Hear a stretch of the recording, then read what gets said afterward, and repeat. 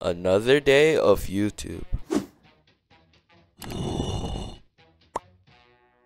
Um, what? Turn an IO game into a AAA FPS shooter? Uh, I don't think I can do that. Or you can to do that. Okay. Here's a dance you to do. Let me introduce to you. Posing, everybody pose.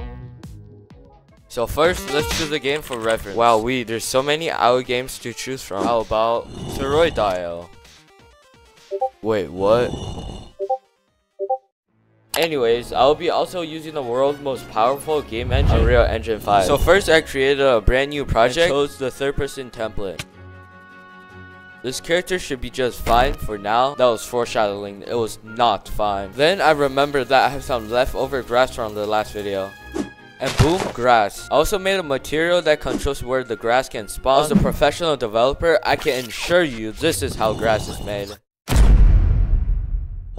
I'm making a first person shooter. So... Much better. Okay, I can see his toes now.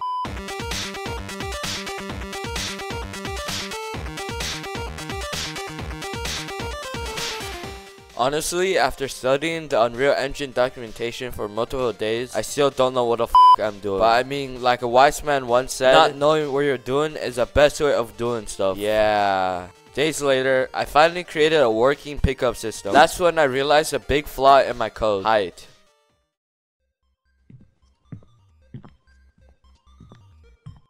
Timmy, can you get me the milk?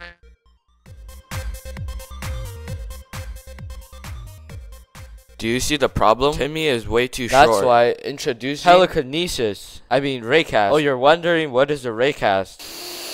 Raycast is basically an inventic that forces your character's camera to project and light in the 3D spaces. It also copies the world location, rotation, and forward vectors. Basically the position where the line hits. And once we get this information, we can determine if the player is close enough to pick up the and item. once we settle the item, we can finally create an object in our character and attach any component to our object.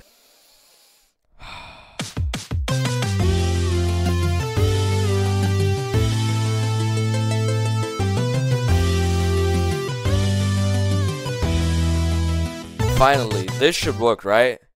Um, attempt two. We don't talk about the last one. What the fuck?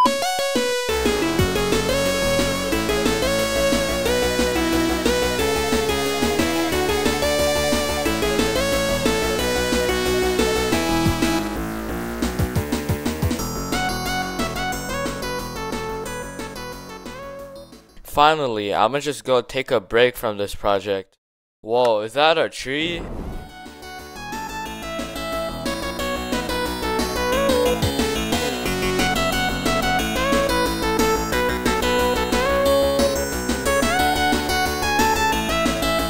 There we have it. Suroi.io in 3D. I was able to create an pickup system and inventory system with only the help of Unreal Engine documentation. If you're interested in this game, visit Suroi.io. This video took over 100 hours to create, so hope you enjoy.